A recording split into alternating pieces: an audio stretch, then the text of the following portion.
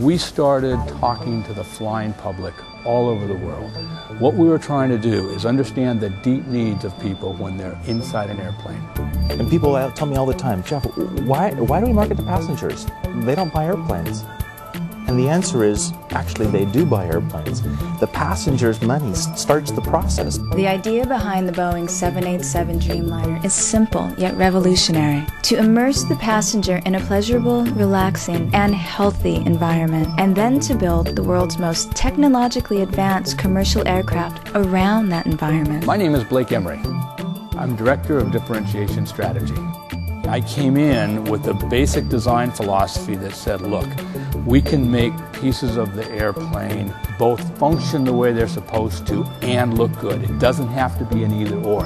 I felt like psychologically, if we're saying this is all new and changing the world, it needs to look new. It needs to look different. I'm Dr. Diane McMullen. I'm a human factors researcher and I work on the 787 with ride quality.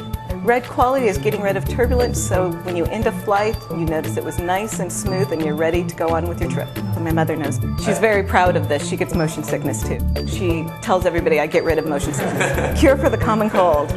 We typically work in a time frame of 5 to 15 years out in the future. My name's Pete Gard. I'm the manager of the Payloads Concept Center.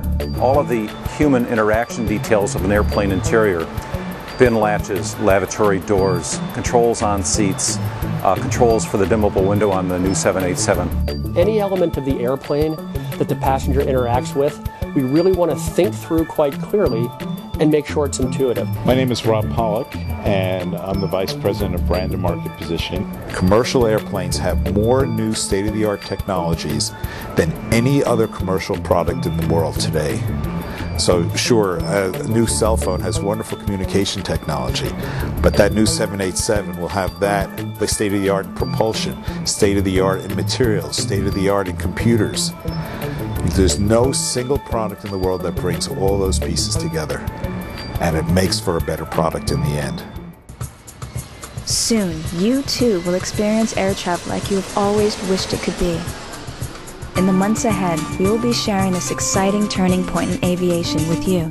So please, sit back, relax, and prepare yourself for the future of aviation, the Boeing 787 Dreamliner. How will you travel through life?